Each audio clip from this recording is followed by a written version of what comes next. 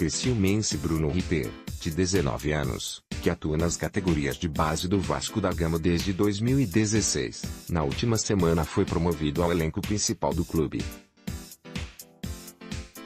A escolha foi do técnico Alberto Valentim. O jogador começou a atuar no futebol aos 7 anos, no projeto Genoma Colorado, do Internacional. Após dois anos no clube, foi treinar no Inter após atuar também nas categorias de base do time gaúcho, foi para o Vasco.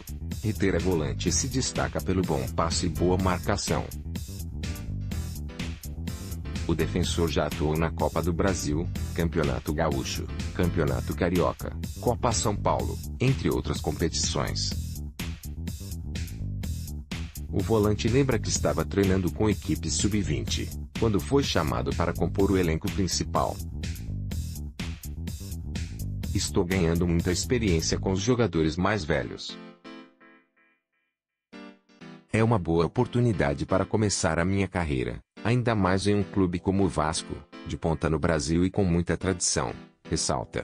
Ele ainda explica que passou por momentos difíceis em sua trajetória, mas persistir foi fundamental para se tornar um atleta profissional. Minha única dica para os atletas que estão começando é que trabalhe muito e não desista, por nada.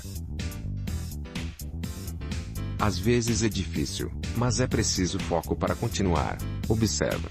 Após treinar por alguns dias com o elenco principal, Ritter foi convocado para a partida diante do Paraná, pela 27ª rodada do Campeonato Brasileiro da Série A.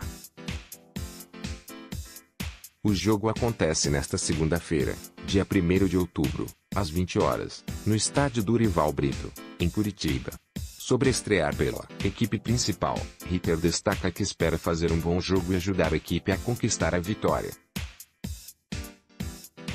Leia mais sobre